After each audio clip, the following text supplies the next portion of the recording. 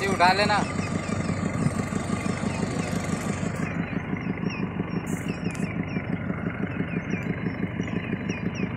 देखो तो किसके हाथ में आ रहा है। इसी की रेंज में आ जाओ उठा लेना। तीन लांजे की रेंज ना।